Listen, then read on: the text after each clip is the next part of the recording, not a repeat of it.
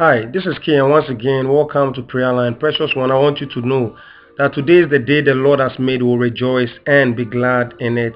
Precious one, I want you to know that God makes us, the Word of God makes us to understand that in the end times, there will be increase in the persecution of the Christians, and it has already begun.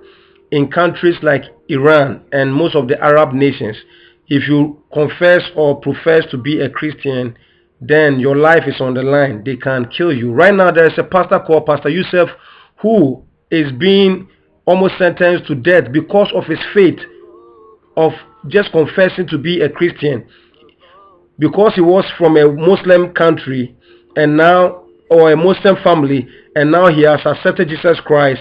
Now the country, the government want to execute him or kill him just because he he is a Christian, and they are telling him to repent or to recount of his faith and accept his former faith of being a Muslim and he has decided not to do that and so that and because of that reason they want to execute him or kill him this is some of the things going on in the Arab nations.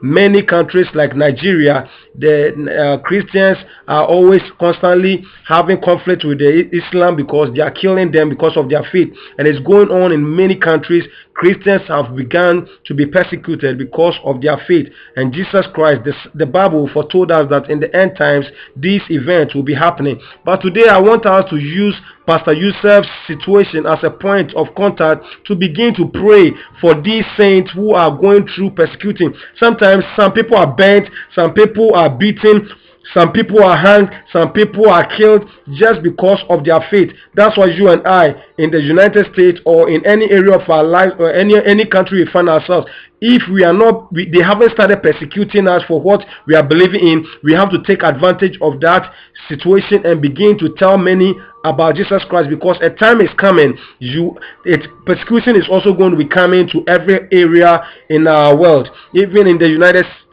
when you profess to be a Christian they will be trying to uh, run you up and then you go through persecution. But it has started in the Arab nations and I want us to pray for Pastor Yousef and use him as a point of contact for many Christians out there who are also going through similar persecution because of the faith in our Lord Jesus Christ. Let us pray for them. And please, after today, anytime you pray, just remember these ones also. And I also make it as a, point in my life to be praying for the Christians who are going through persecution. That Jesus Christ, God Himself will be their comforter.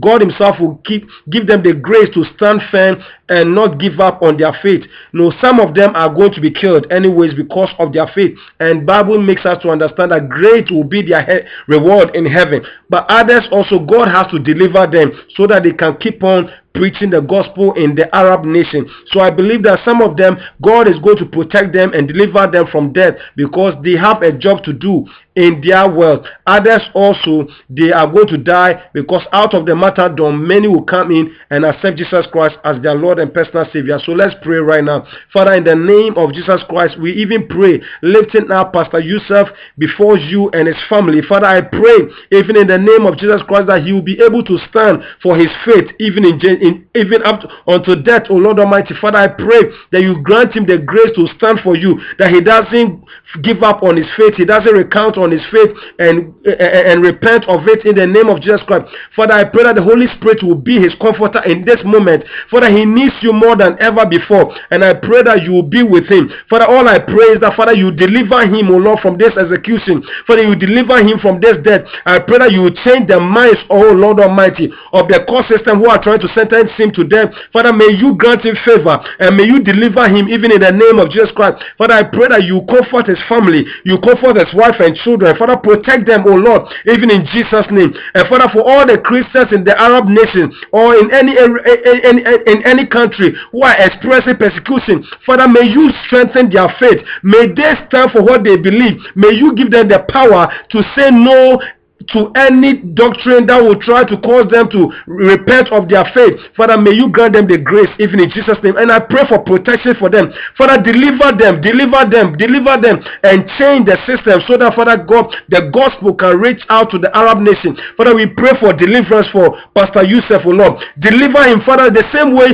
you delivered uh, Peter when he was he was bound with shackles and chains in the prison. And when the saint began to pray, the Bible says that the angel of the Lord entered into the prison cell and broke him loose from the shackles and the chains and broke him loose out of the prison and the iron doors and brought him out safely. I pray for a miracle that Father there will be a change of mind in the system in Iran right now. That Father they will change their mind and not execute oh or not Pastor Yousef, or Lord. I pray that Father God let there be a miracle. Let there be a turnaround. Even in Jesus' name, we use him as a point of contact to also pray for all the saints who are undergoing persecution in Nigeria. Father, may there be peace in Nigeria. Christians going through persecution, Father, protect them. Even in Jesus' name. And Father, deliver them and also let them stand strong. Oh Lord Almighty, we pray this for Pastor Yousef and all the Christians going through persecution. Protect them, strengthen them, comfort them, oh Holy Spirit. This is the time that they need you ever than ever before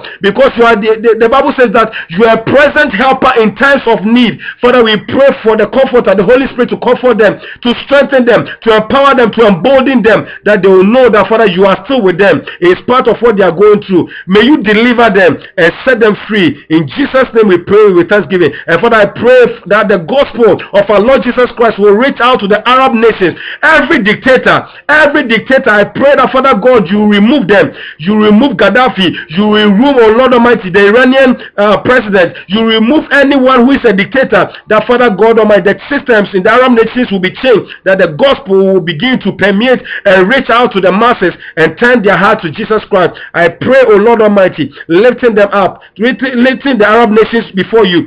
Father God, let the gospel begin to penetrate to these nations. In Jesus Christ, we pray thanksgiving. Thank you, Lord, for the life of Pastor Yousef, because I know that deliverance is coming his way and a miracle is coming his way. In Jesus' name. Father,